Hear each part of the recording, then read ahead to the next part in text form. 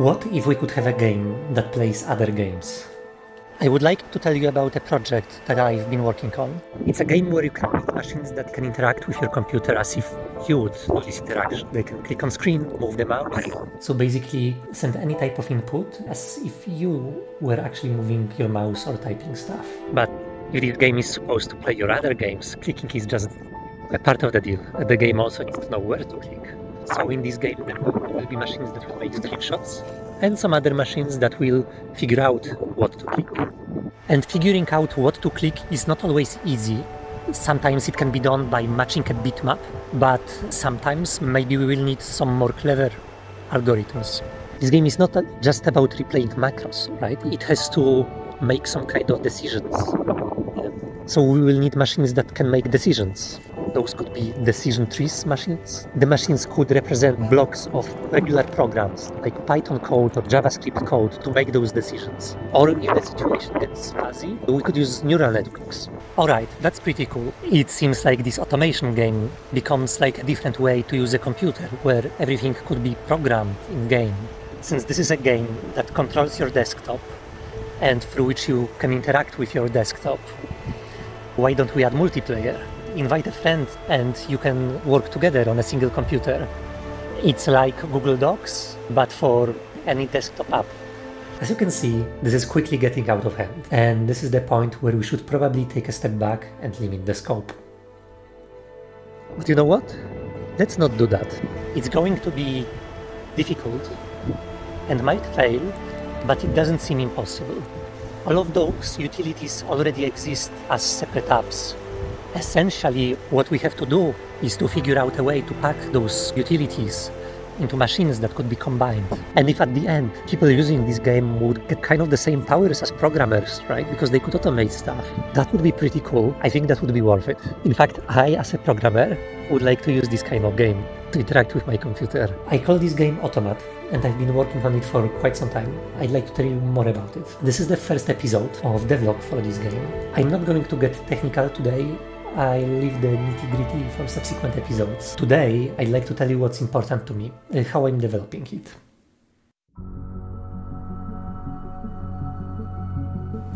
My first goal is to make it free. So let's talk about economy for a minute.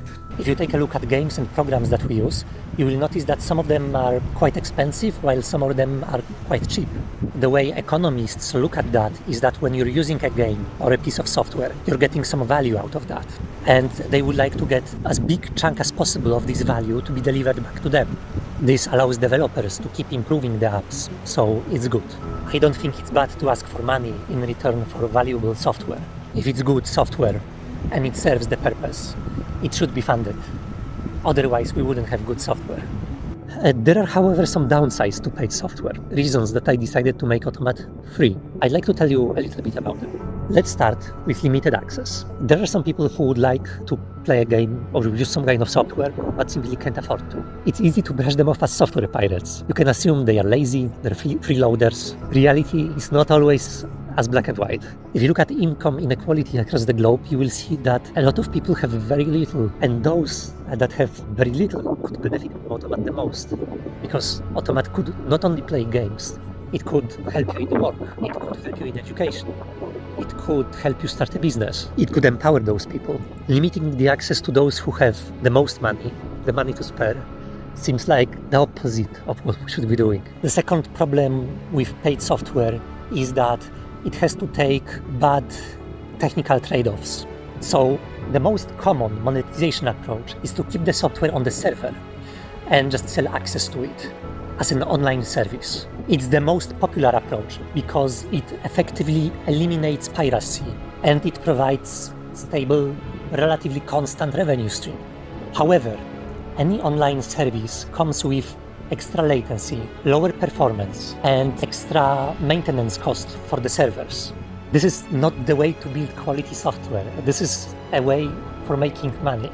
Another approach is to have software licenses, but this approach also has problems. You must be online for the license checking code to work, and the license checking code itself could be removed from the software so you never see license checks alone. You always have license checks plus integrity checks. I mentioned those integrity checks because they slow software down, and they have false positives. So it slows down the game and it diverts resources from developing a better game to fighting piracy. Anyway, the idea is that however you monetize software, the monetization approach always has a negative drag on the software itself, and I don't want that. I would like to focus on making the best software that I can make and not fight users that want to use it for free. The third problem with paid software is so-called enshittification. It's a result of an adversarial game played between developers and users. Developers initially try to create the best possible app even at a loss. They offer it online for free. And they do this to gain popularity, to gain recognition, to create a dependence in users and lock them in. Once they gain enough popularity, and this usually happens when the user base stops growing, they switch to value extraction. They introduce paid subscriptions, increase prices, they make it harder to unsubscribe, they make it harder to take out your data. It's a slow process, Developers try to do this carefully, not to scare off users. Sometimes it, it, can play over the years. Eventually, however, and this is the terminal stage on the enshittification cycle, most users migrate to another service, which is in the growth phase. It is a slow process. You can see it in places in the economy where popularity matters. I brought this in the context of Automat. If I made my game a paid game, hire people to help me optimize the business, eventually enshittification would happen. I don't think it's possible to build an efficient, money-oriented organization without eventually going in this direction. Lastly, paid software bypasses the user's right to fair use. This is not a strong argument. It's more a personal sentiment that I have. It's that in the past, you didn't always buy software as a license. Sometimes you could buy software as a copy, and the law around copies was completely different than software licenses. You are free to make your own personal copies and share them with your friends and family. You can resell the software. Those things were actually part of the law. They were protected by the law. Nobody could forbid you from doing this unless they sold software as a license, not as a copy. The reason that paid software switched to software licenses was that this fair use it was easily abused people were making copies and sharing them online, quite often attaching some malicious attachments to the software. There is also a security argument there. Anyway, right now, if you want to play a game with your friend or a kid, you kind of have to buy two copies to play. And if you're at a party, you have to buy a copy for everybody who wants to play the game. I think it's one of the reasons we play more games with strangers online uh, than with our friends and family. And this is another reason why I would like Automat to be free. I think every software is better if you can play it with your friends and family. There are very few open source games, but I think open source could work really nicely here for a couple of reasons. First, Automat is the kind of game where users might be motivated to inspect how it works, tweak some things, add their own machines, or just use it to learn how to code. Secondly, it allows other people to uh, join me and help with development. Normally, this is difficult because how do we split the revenue? Not everybody puts in the same effort, not everybody has the same results, so it's a problem but not for a free game because if a game is free, revenue split is not a problem. The third reason is that the MIT license, the license that I uh, picked, is fairly permissive and opens some very interesting use cases. For instance, uh, anybody would be able to take Automat and integrate it into their own game. That would be cool goal free. Every megabyte counts. I'm a low level programmer. I care about performance and I'd like Automat to run as fast as possible. I've chosen to build Automat as a single binary without any extra dependencies, without the need for installation. It's written in C++. It uses Vulkan to render itself. At the moment, it takes a little over 8 megabytes, although it will grow. Even though it's unoptimized, it's already pretty fast, and I'd like to keep it that way. There are plenty of existing automation tools. However, most of them require some form of programming.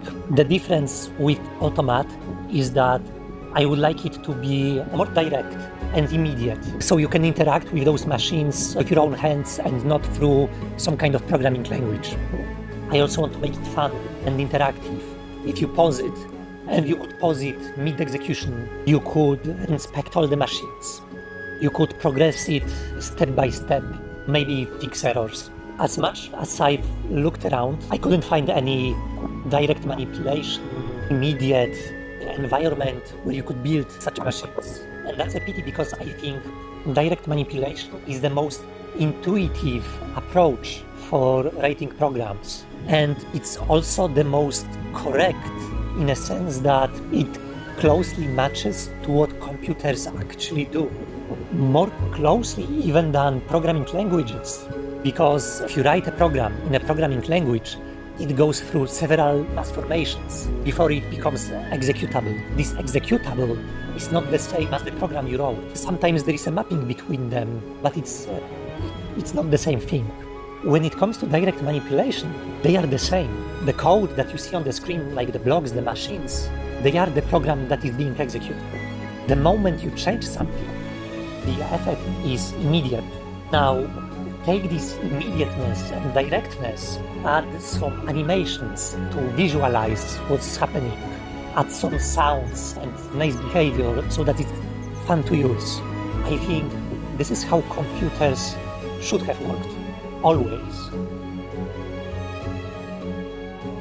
Okay, goal number five, respectful. This is probably the shortest point on the list. Really, it should be obvious. I talked a lot about Automat being free, and I do this because it helps me align my goals with the goals of other players. I can make fun, rewarding a game instead of trying to catch players. It's a tool slash game. It's meant to be useful slash pleasant to use, and that's what I want to work on.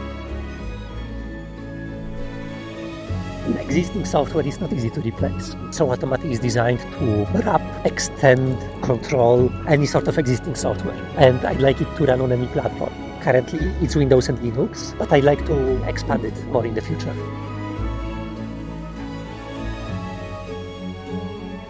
I don't know how computers of tomorrow will look like. Maybe we will have more interactive installations. Maybe VR will pick up. IoT and wearables are definitely going to grow, I'm trying to develop Automat so that it can run on any type of hardware. I hope to be able to run Automat on watches, smartphones, TVs, and so on. This is probably the more long-term goal, but it's there.